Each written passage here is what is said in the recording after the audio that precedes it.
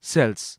In electrochemistry, the interconversion of chemical energy and electrical energy is an important aspect that possesses numerous applications. For example, batteries supply electrical energy stored in the form of chemical energy for the operation of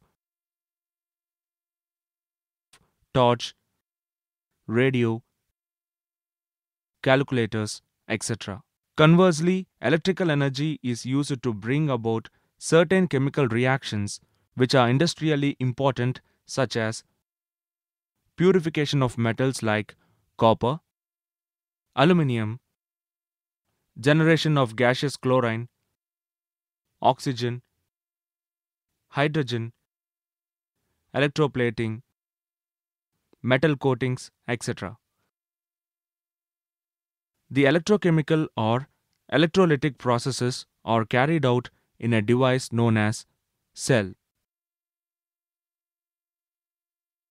An electrolytic or electrochemical cell consists of two conducting metal electrodes in contact with an electrolyte solution which separates them or placed separately in compartments containing suitable electrolytes.